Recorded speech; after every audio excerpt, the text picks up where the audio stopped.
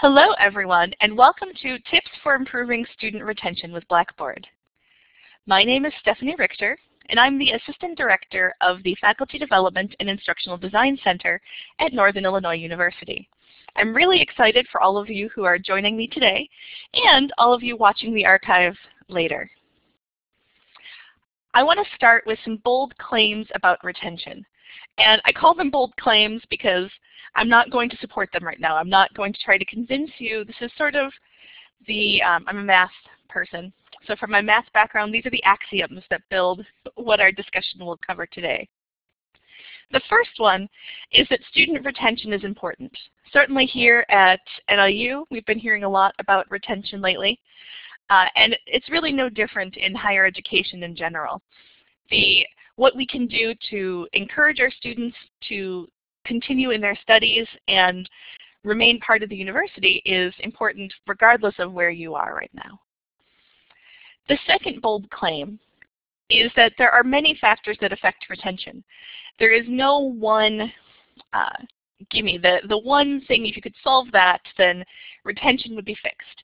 It's a really complex situation and a complex problem with factors from everything from uh, feeling connected to campus, having friends, doing well in your studies, um, having enough money, financial issues are a big part of retention.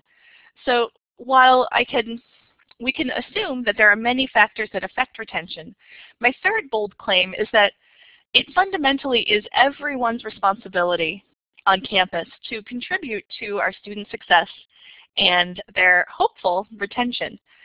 Um, and with that being said, there are for each of us, everyone on campus, we have sort of a sphere of influence as to what we can actually control and what we can directly um, influence.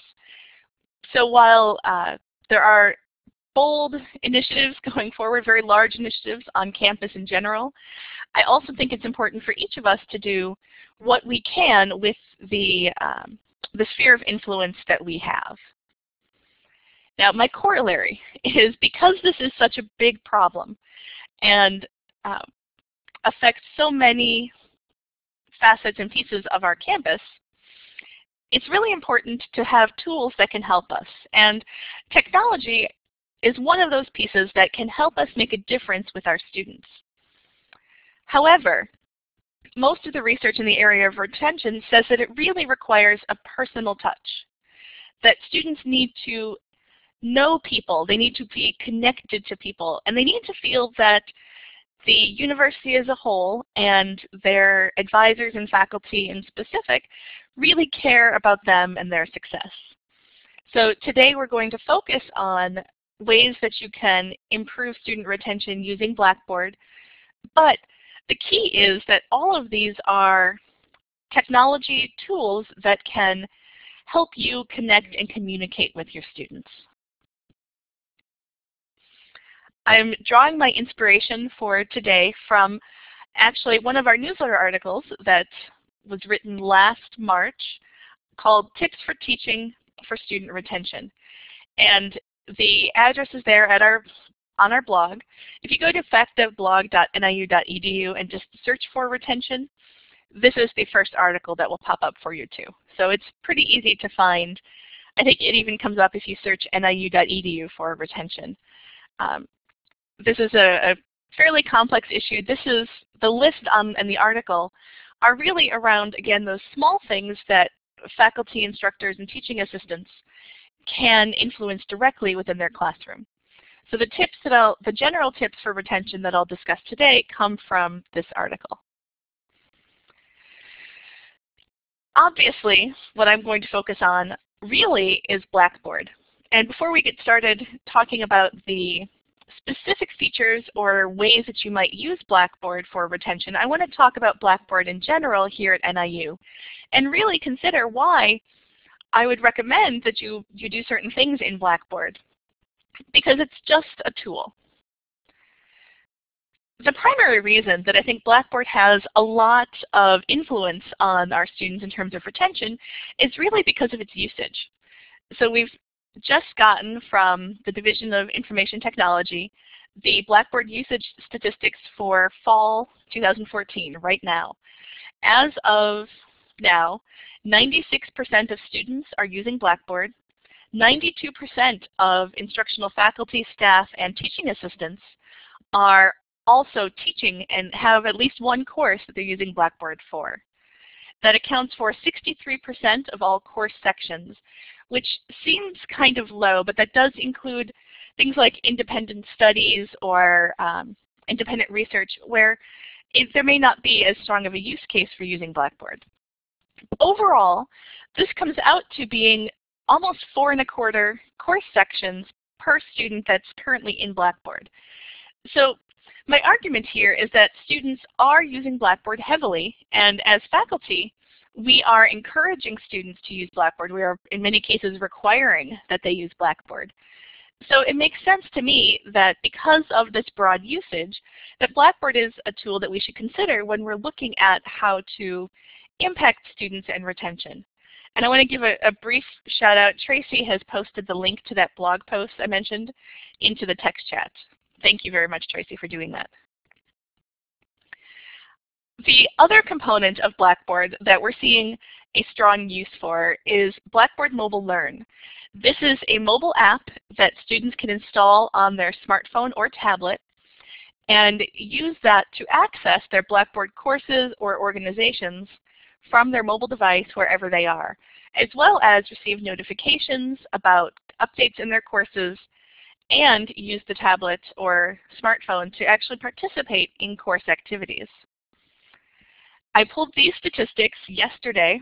So as of yesterday, from August 18th through September 18th, we had actually seen 13,000 unique users so far this academic year. And classes here at NIU started on the 25th. That was the Monday that classes started.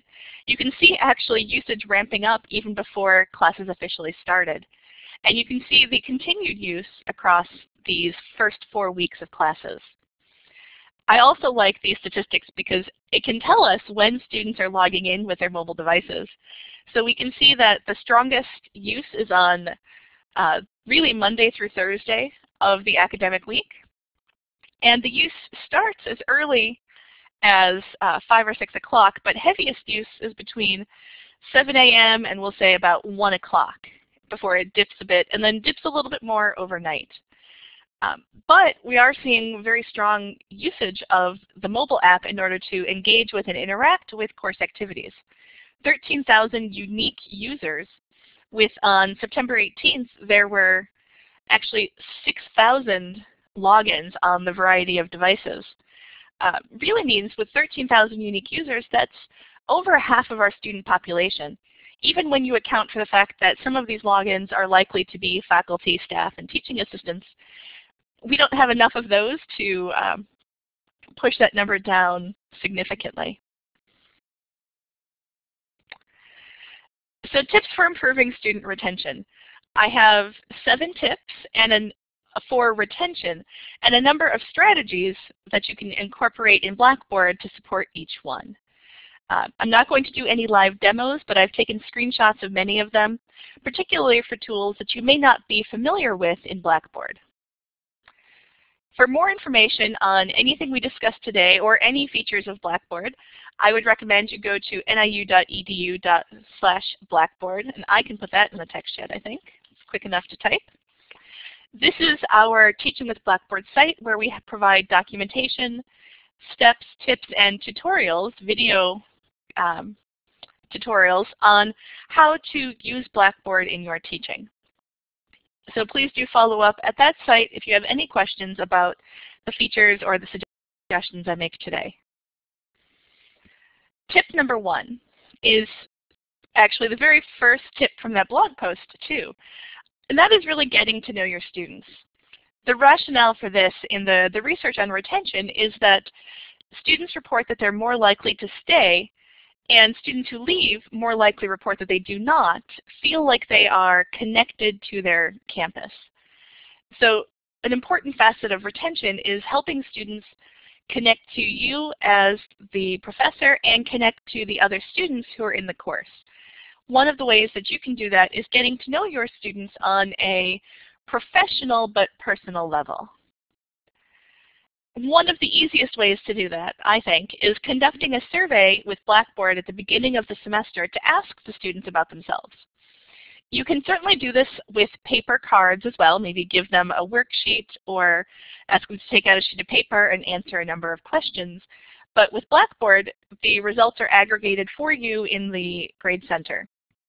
So some of the things you might ask about in the survey are the student's history with the content. Um, I've often asked students when I was a math teacher about how they felt about math, what experiences did they have about math, uh, as well as what prerequisites they had uh, how many credits they're currently taking, how long they've been at NIU, if they've used a variety of technology tools that you might require for the course, particularly Blackboard tools, uh, what their study habits might be, particularly around exams, their learning preferences, and any other outside commitments. Um, again, in the retention research and student research, a lot of the students in our classrooms now are no longer traditional students who are full-time uh, students alone, often they are also working or they have families, um, either children themselves or caring for parents that are additional commitments that they balance with their school life. A few other suggestions besides creating a survey would be to use a get to know each other type discussion forum, whether it's an icebreaker or um, an introduce yourself sort of a forum um, that can allow students to do more of a narrative, almost a, an autobiography, briefly on a discussion forum about themselves. The benefit to this is that then the other students can see and read that and get to know that student as well.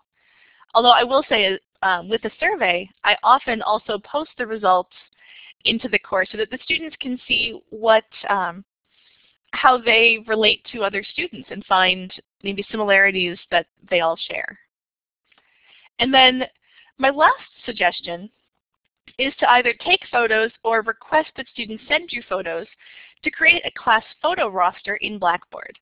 There's a, a, a social profile tool that um, we're still working with IT security to see if it is really safe for us to turn on since it does pertain to student data and we don't want to do anything that would be unsafe. But in the meantime, until we have that tool on so that student photos are embedded directly into Blackboard, you can do that yourself. Here's an example I created with our guest accounts. Our training courses are celebrity studded to say the least.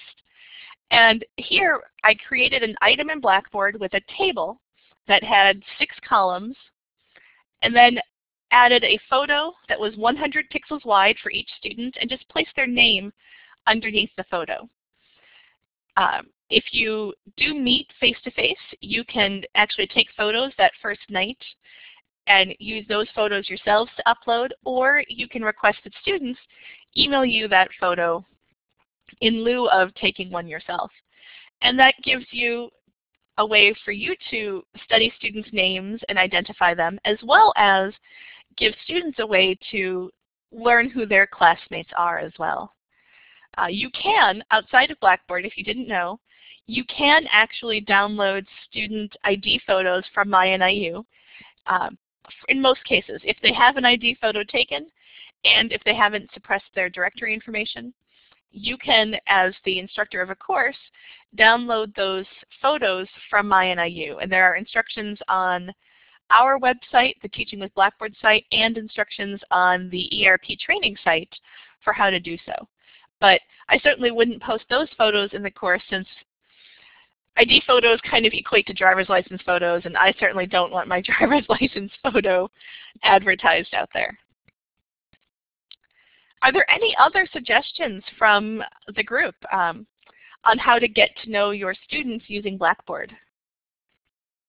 I'll pause for a moment in case anyone wants to type something or if anyone wants to take the microphone, just raise your hand.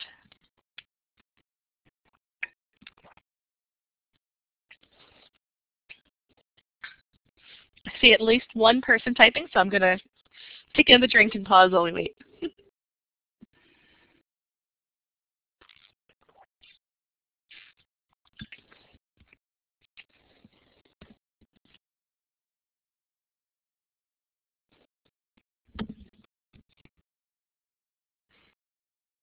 Hopefully you're close to them typing. Oh, another two people. It's a race. Who gets done first? That is a great suggestion. It's an interesting take on the icebreaker uh, forum. Isabel suggests asking them to use the voice of their pet to introduce themselves. I like that. That's an interesting take on, rather than just tell me about yourself, tell me what your cat would say about you. Interesting. Great suggestion. Thank you. So tip number two is to design your course syllabus and really I would say your overall course to be welcoming to students. This tip on the blog comes out of the fact that many times our syllabi are are heavy on penalties, right? You must be to class on time. You must attend class or I will take away points. You must turn your, your assignments in on time. You must use APA style. Uh, and it's, it's very heavy on you have to, and if you don't, then I'm taking off points, or I will remove you from the class, or we will contact the Office of Student Conduct. Um, so when you can work in the positive side of things, that I think helps them feel more welcomed and less punished. I would say when you're using Blackboard, this extends beyond just the course syllabus to cover the entire course in the way that you design it. So for example, when you post your syllabus, I would imagine that most of you post your syllabus as a PDF or Word document for students to download. And that's certainly effective. It's a good way for students to get the information save it, print it themselves, and I would definitely recommend continuing doing that.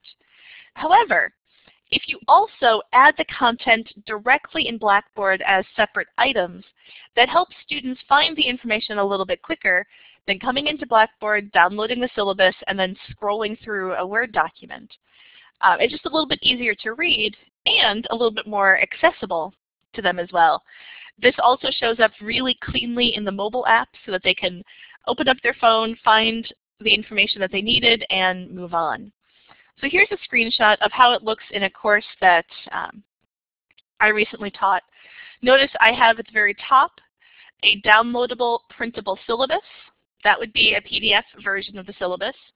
And below that, a downloadable and printable course schedule, which is the, the table of each week what we're going to cover and what the um, assignment is for the week that's due. But then below that, I've created these individual items. Each of these, catalog description, course objectives, each of these are separate items where I've entered text into the text box editor. By doing that, I get granular control over how they're placed, and I can let students come in and read the syllabus without having to download it. Here, actually a scrolled down perspective, I've added information on the textbook, including a photo of it. Uh, this is using the text box, or the, sorry, the text box. The textbook tool that's in Blackboard, you can actually search for your textbook by title or by ISBN and add information on it here. There also then is a folder with the readings and guidelines, a link to where my course videos are on YouTube, the topics and schedule, etc. It continues down the row with all of the information, including the grading scale and the assignments that's in the syllabus. Of course, I also, as I said, submit also and post the PDF version so that students can print that if they'd like to or save it and keep it on a flash drive or on their computer. The another way that you can design your course to be welcoming is creating a welcome or start here area in your course and setting that to be the course entry point. I actually really like the home page that is the default course entry point in Blackboard. It, the modules pull in information based on due dates and upcoming assignments, uh, tasks that they may have, announcements you've posted. But if you aren't using a lot of those tools, it's basically a dead page. I think that quite often, at least at the beginning of the semester, it would be more helpful to bring students to a, a hub where you have a welcome statement, maybe a video that you've posted where you personally welcome them to the course. Maybe you've designed a course banner that displays over that area as well. And it creates a, a better sense of coming in and joining your course. So here is my welcome start here. It's not super exciting, I'll admit. You could be far more visually creative. But this welcome page lists the important information for the course. I have some tips for getting started, as well as a, a sort of an at-a-glance guide and syllabus to the right. I will admit I did not come up with this. This is a standard page that's used within the online programs in the Department of Educational Technology Research and Assessment, so I make no claims to its origination. Um, but I thought it was a great idea and used it, so I feel like I get some credit for recognizing someone else's brilliance. Um, but some sort of a page like this where you're welcoming them into the course and giving them a high-level overview is perhaps more effective than a to-do module that doesn't have anything to do. And then my final recommendation to help your course be welcoming and friendly to students is to design your course so that it is mobile friendly. I'm not going to go into many details on what that means. Uh, we have resources on our website for designing a mobile friendly course, as well as we periodically offer a workshop uh, that covers all of the facets of being mobile friendly. But the reason, again, that I recommend this is because of those statistics, because of the use that we're seeing of the mobile app. It suggests that students would be best served if we created courses that were easy for them to consume in that fashion. So some of the features you could use and be aware of with the mobile app is uh, things like the announcements show up easy to read and uh, interact with in the mobile app. Students, one of the most used features of the app is their grades, being able to check in and see uh, what grades have been posted recently and what your feedback was. Uh, the discussion board, in fact, for that matter, most of the communication tools, the discussion board, blogs, wikis, and journals, all four are actually really, I think, convenient to use from the mobile app. Students can post back responses from wherever they are, whenever they are. And I think there are some really good implications outside of being welcoming to students for things like on-site reflections, where they can actually post to their journal about what they're engaging in at that moment. And of course, content. This is kind of a cutoff view, but students can, of course, read content, watch videos, and um, navigate websites, any of the materials you've posted in the course that are mobile accessible. So things that don't use Flash or Java um, are really the, the best things to use. Plain HTML images, videos work wonderfully. Um, and that lets students participate more frequently with your course. Because if they are taking the train back home for the weekend or um, sneaking in a break at work, they might be able to come in and read one piece of your content or uh, watch a short video if you've designed your course to be mobile friendly. And I think the more often that students engage with your material and engage with your course, the more likely they are to be successful and the more likely they are to be retained. And then the last component of the mobile app that, again, I think is really important to students are notifications. So they can actually configure their app. By default, it will give them a notification every time new content is posted, new announcements are posted or uh, grades are posted on their phone, on their tablet. So when you post that announcement, they may get an email, but they'll also get a little pop-up on their phone. So again, that pulls students back in more frequently to the course content and makes them aware of the resources that are available. Tracy also points out, yes, the Collaborate mobile app is a fantastic way to keep students engaged from wherever, whenever they happen to be, because they can use that Collaborate app on uh, any iOS or Android device. Absolutely, and thank you for pointing that out. So tip number three, prepare your course content using a variety of modalities. This gets into a lot of issues around learning preferences, uh, disability and accessibility of your material, universal design, uh, motivation, technology limitations. Uh, there are a lot of really good reasons to be careful about the media that you use, the, the types of media, and the format that you post it in. So some of the things you might consider uh, with using a variety of modalities are really the one of the primary things to think about is how you post video if you've used video content.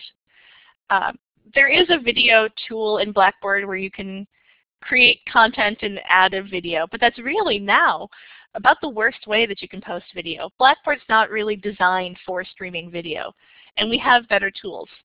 So for example, if you've created a YouTube video or you've just found a YouTube video that you want your students to watch, you can embed those with a mashup. And the reason why we recommend embedding with a mashup instead of just posting a link is that the mashup plays directly within your course. So students don't link out to YouTube and then have to come back and find their way back to your course. It also, this mashup tool is keyboard accessible. So students who may not use a mouse, who use a keyboard to navigate the web, can still easily play and view the videos. And the mashup tool is also very compatible with the mobile app. An interesting experiment to try, I'm doing it right now, is to record weekly introductions to your course with the Video Everywhere tool. That's, um, I'll show you a screenshot of it in a second. It's a small button in the text editor and it launches a window to record from your webcam and in the background saves it to a, an unlisted private video in YouTube so that students can play it in their course, but it's not visible outside of the course. And I think it's a great way to connect to students, let them get to know you in a, a little bit less formal way, but also get them excited for the uh, coming week. And then I'll also show you how you can use a new tool called Helix Media Library to post video content that you've created into your course. The Helix Media Library connects with a server that IT maintains that is really optimized for streaming video. Uh, it will convert it so it plays on multiple devices from a computer or a laptop or a smartphone um, and plays it in a smooth, uh, seamless manner. So when you're posting video, if you want to try video everywhere, for that you would use this small webcam icon in the text box. This is available anywhere that the text editor is visible, so you can actually record videos to exams or assignments for instructions. Students can record videos themselves on the discussion board. Uh, essentially, anywhere that that tool is, you can add a video, and it really opens up the possibilities what that opens is a window like this one. That's not me. This is a default screenshot from Blackboard. Uh, but you can then start recording and record your video to upload it to YouTube in the background. The Helix Media Library is another component of this mashup tool. So you'll see under mashups this YouTube video that I mentioned. Down below that is the Helix Media Library. And the Helix Media Library will stream up uh, allow you to upload video or audio to move to a server that's optimized for containing that media. Uh, again, you have access to this and students have access to this, so you can upload video for content like the sample lecture video in the call out to the right. You can ask students to create videos for an assignment and upload that to you as their submission. The videos are uh, on a server through IT. They are firewall password protected so that they cannot be seen by anyone who you do not give permission to. There are a variety of settings for permissions. Uh, so they are not publicly available, which is fantastic too, unless you make it. You could make them publicly available if that was helpful. So Isabel, the Video Everywhere tool can only be used for video, but this Helix Media Server, the Helix Media Library can be used for either audio or video. And then another suggestion for using a variety of modalities is not to recreate things yourself, but to use open education resources. And if you're interested in that, I'm going to refer you to Tracy because she's become our OER expert. Um, but in Blackboard, there's a brand new tool that was just launched um, this last year called xpLor, the Cross-Platform Learning Object Repository. And you can use this to find content that's been created by others and add it into your course for your students to interact with. The content that's created here is licensed under Creative Commons, so it's created with permission for you to use it for your courses. Tip number four, moving right along, is using, using success markers to track not only at-risk students, but really any student who might be at risk. Using at-risk students to me always sounds like we've pre-identified students who might be at risk. I would say using these markers to track students who may be at risk based on what their performance is in the course. So one of the easiest ways, one of the biggest success markers for really being successful in the course and for retention in general is that students are actually attending. So you may take attendance in class or not. If you do, you can track that in the Grade Center. There's not a great tool for doing so. Uh, you have two options. One is to create a column for every class session and mark down who's attended. That's the most thorough, but you end up with a lot of columns. Or create a single column that adds text as the display. And using that, then you can type in the dates that students were absent, uh, as opposed to tracking every time that they attended. And what I think that helps with is in the communication. It draws attention to students so that they know that they've been absent. And you'd think they know they were absent, they didn't show up to class. But they may not be realizing how that's accumulating over time. And because of that, what the consequences could be, both if you have an attendance policy and they're going to lose points, or just because they're missing a lot of material.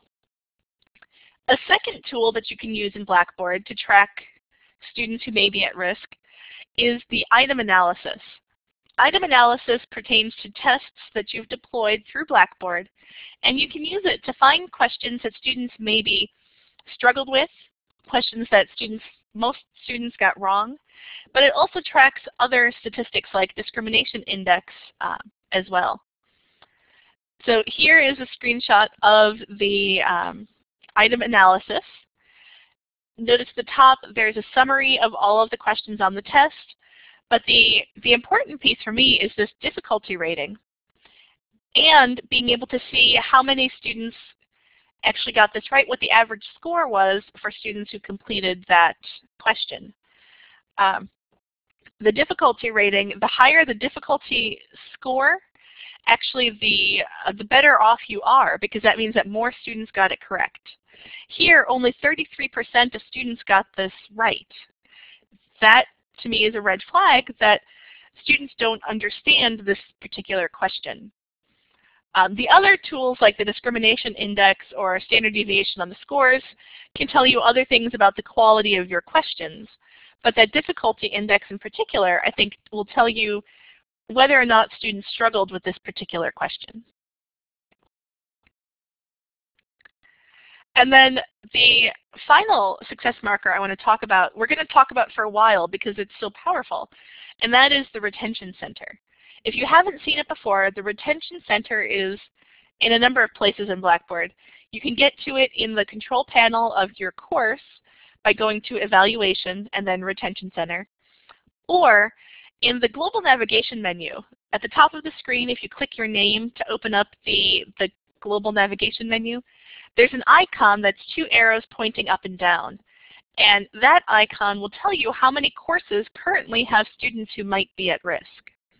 If you click that, then you can get to see the detailed results for each of those courses. So here's the Retention Center. This is actually from the course that I'm teaching, which is why you see all of these hash marks. I blacked out all of the students' names so that there's no student data here visible.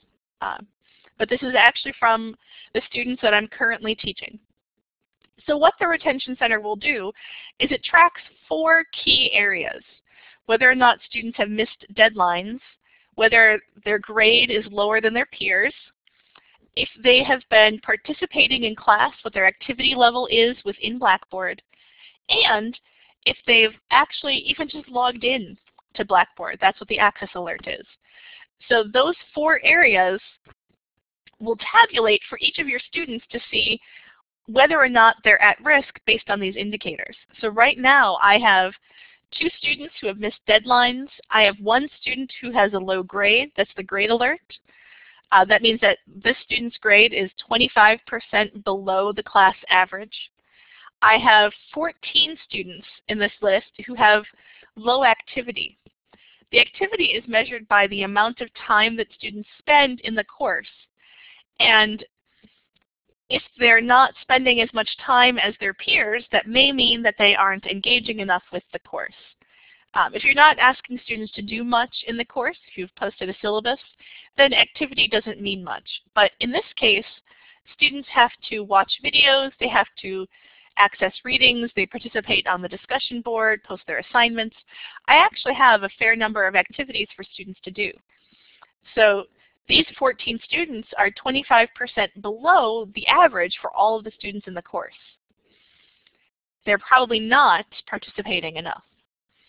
And then the access alert will just simply tell you if students have not logged in within five within the last five days. Again, if you don't have anything that students need to access, this alert isn't going to mean that there's a problem, but it will still trigger. For example, on this access alert, if I click that, I get more details, and I can see that the last time this person logged in was seven days ago. That means it's been a whole week since they've come into my course.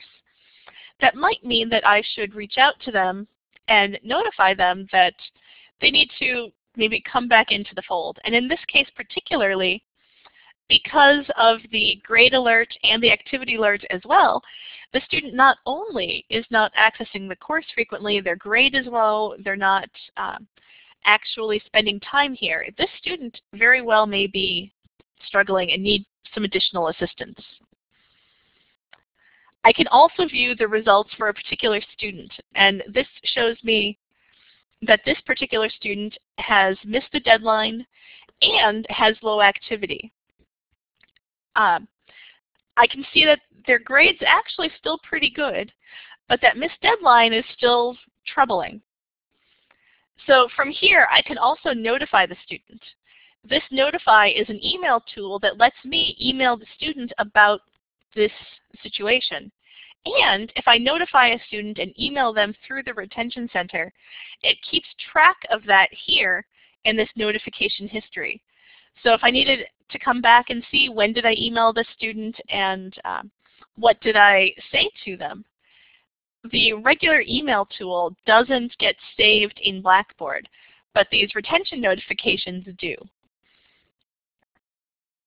And then one of the final aspects of the retention center I want to point out is if you do have a student that you're worried about. So that student that we just saw, after I notified the student, I was kind of worried that um, they may need a little bit more attention. So I started monitoring that student. That's what this star means.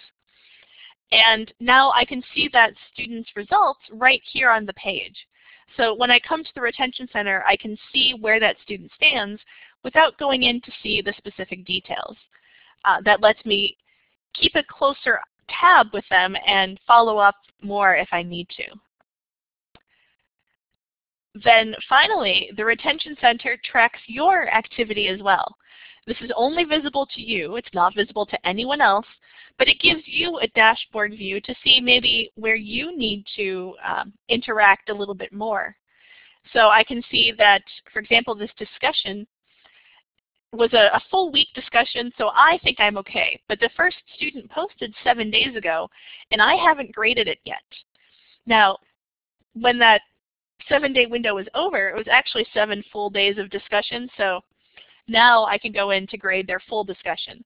But if this were a regular assignment and they had, my student submitted it a week ago and I didn't respond, then that's a failure on my part to respond to them and provide them with the feedback they need. I can also see where I've interacted on the discussion board, blogs, or journals, as well as see the announcements that I've posted recently as well. So this gives you a dashboard view to see how you're doing in terms of supporting your students as well. tip number five is providing students with opportunities to interact. And I know that sounds like it's a fragment because it's interacting with someone, right? But really interacting in general with you, with each other, uh, with the community at large. And there are a variety of ways you can do that. One is um, to create a forum on your discussion board for off-topic discussion, particularly if you're teaching an online course or you don't meet very often. Um, students don't use it heavily, but sometimes even just having the opportunity makes them feel like they could have been more connected if they wanted to be. You can also create groups if you're going to have students engage in group work. Creating a group in Blackboard gives them a few more tools that they can use to interact with one another. Again, they may or may not choose to use those. They may choose to use uh, a Google document to collaborate or Hangouts or Skype or just text message. But again, creating a group gives them the opportunity to do that. And then another suggestion for what, even if you have a face-to-face -face course, whether this is online, blended, or traditional face-to-face, -face, you may want to consider using a web conferencing tool for some of your office hours. And that's just because your students may not be able to make it to your office hours face-to-face. -face. So if periodically you held online office hours, then students would be able to join you even if they were not on campus to be able to ask questions and interact with you. Uh, one recent change to the Blackboard Collaborate building block allows you to um, it automatically, in fact, creates a persistent room for your course. This room is always open, and you don't have to schedule it like you would other sessions. So students can come here. You can simply say that Tuesdays at 2 o'clock, I will be in this course room. Come find me. It's also a great tool to suggest for students who may want to use that to collaborate with one another. You also now have, as the instructor of a course, as a faculty member, you have a persistent room as well. This room is across all of your courses, so you could use this for office hours, and any student in any course could stop by. You can also use this outside of campus by allowing guests, or use it with colleagues within NIU, whether or not you allow guests. But this room combined with the course room gives you more flexibility in what you offer. There are, of course, other tools that you can use. You may want to hold office hours with Adobe Connect or Skype, Google Hangouts. Um, any tool that makes you more accessible to your students is um, a good thing in, in my book. Tip number six is to provide students with frequent feedback. Uh, on the blog post, if you look at this one, it's actually phrased as uh, assigning multiple frequent quizzes and assignments so that students get frequent feedback. But I don't want to focus on the assessment piece. I want to focus on the feedback. Um, anymore, when I describe the Grade Center to new users, I always explain the Grade Center as a communication tool. That this is about meeting and working with your students, letting them know how they're doing, rather than about recording and uh, calculating grades. That's a productivity piece, and that's important, but I also think it's important to think about the students in terms of, of sharing information with them. So some feedback options to consider. Uh, one is to create and offer practice quizzes in Blackboard so that students can test their understanding then you can show the correct answers and the feedback after some event, either after the deadline, the due date for taking it, after everyone has taken it um, on a certain date. There are now there are a number of options around how you provide that feedback to students. You also may want to have these graded or ungraded. Um, if you give your, your quizzes and tests in class, creating a practice quiz or test in Blackboard may not award students any points, but it gives them an opportunity to try it, see what they got wrong, and go and look that up and study a little bit more effectively. For assignments in general, if you have students submit a paper, if you haven't tried out the inline grading or rubrics for those assignments, I highly recommend them. Inline grading lets you add comments and make revisions within the paper similar to track changes. And the rubric tool lets you use an interactive rubric in Blackboard to not only grade students, but then to provide that feedback so students can see how they performed. So the inline grading, here's a screenshot. Again, this is from one of my students. And you'll see that I've been able to select text, like this word databases, and add detailed feedback in a comment to the right. I'll be honest, I've provided a lot of feedback to my students, and I'm not sure how well they've taken that. It's overwhelming, I think, when you're not accustomed to that. So we've had a lot of conversations as well about how feedback is not necessarily a problem. It's not necessarily that they've done something wrong. It's just an opportunity for me to ask them questions or make some suggestions on their work. Here in the inline grading view, uh, at the top is this comment tool. That's what I used to make these comments. You can also draw on the page or highlight text. You can add text or strike out, actually cross out some of the text that they've written. The one thing you can't do is actually modify the text like you could if you had a Word document. If you want to do that, you can still use the button here with an arrow to download the student's paper, make your changes, and then you can upload your version with the track changes. But if you're going to focus on comments as opposed to actual revisions, this inline grading feature is fabulous. And then rubrics, this is a screenshot of a rubric. Um, for each level, I have the criterion and all of the, the levels of performance for that. When I grade, I can simply select the, the level of achievement the student had for that item. And as you'll see at the bottom here, you can also type in detailed feedback for them based on their performance and what specifically about this facet of their assignment you want them to adjust. So a lot of really great functionality around the rubrics in particular. Um, if you're interested in rubrics, I want to highlight that in our October schedule that came out earlier this week, or that you can find on our website, we will be offering a workshop on writing rubrics in the first place, using rubrics for providing feedback. And after that, uh, Tracy actually We'll also be teaching a workshop on using the rubric functionality within Blackboard, how to create a rubric and how to grade with a rubric. So look forward to that if that's an area of interest for you. And then the cool, new, exciting, interesting way to provide students with more feedback is a new tool in Blackboard called Achievements. Achievements lets you provide uh, badges and certificates to students based on their performance in the course. So you can award these for mastery or exceptional performance. Here's a screenshot of what that looks like. The badges are basically like digital stickers. Um, they can collect them in Blackboard and be proud of the fact that they've achieved mastery over a particular uh, facet or topic in the course, or uh, maybe they achieved this for being um, a fantastic facilitator and working with one another. Uh, they can also then, on some of these, you see this arrow pointing out, they can take those badges and publish them to a tool called the Mozilla Open Badges Backpack. And that backpack is a place for students to own and control and display the badges that they've earned from a variety of sources.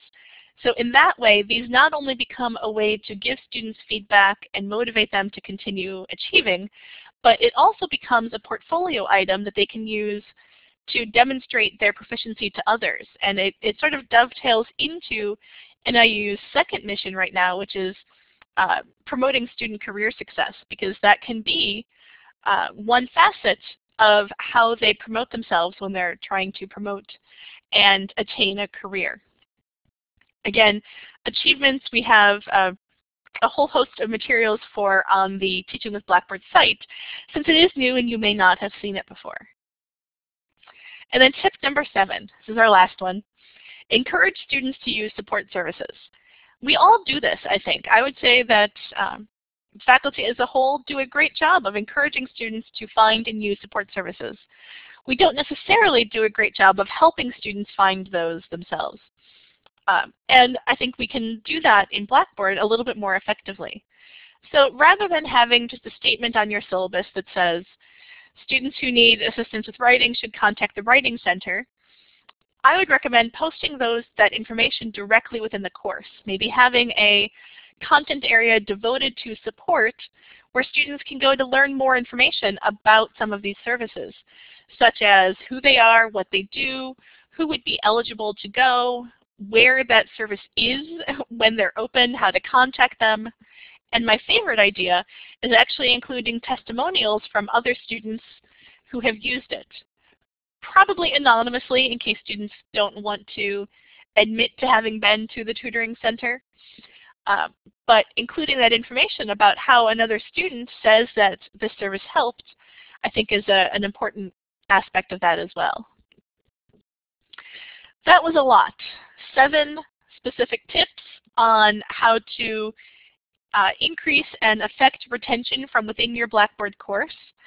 Uh, everything from just getting to know your students, showing them you care, to actually tracking and monitoring their performance a little bit more so that you can intervene if necessary when you've identified a student who may be struggling. Um, while these are up, are there any comments that anyone wants to make about these tools or any of the suggestions that I made for Blackboard?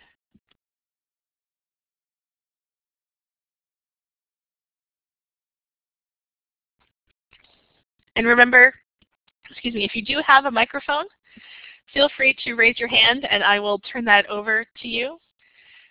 Excellent, Lori, thank you. I'm glad you appreciated, and you as well, Steve, the suggestions.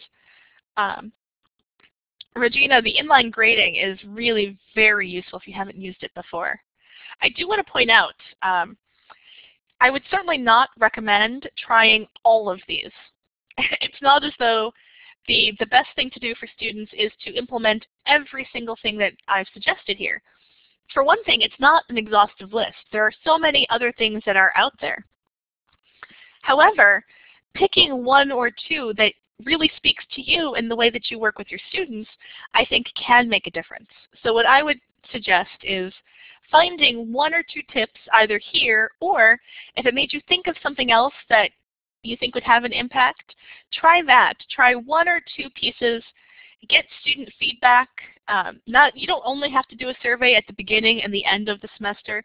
Get student feedback throughout the semester so you can see where they're at and what else might help. Catherine, yes, the Retention Center for identifying the at-risk students is definitely more useful with more students. In a small course, it's fairly easy to pick out you know the students' names, you know who's there or who isn't.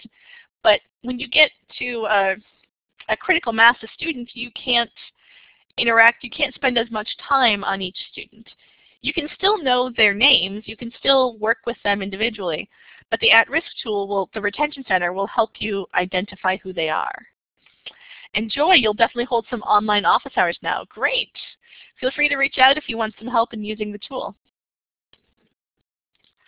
All right, if you have more questions about retention, I'm going to refer you to that article. Tracy posted the link earlier um, on our blog for more suggestions on teaching to improve student retention.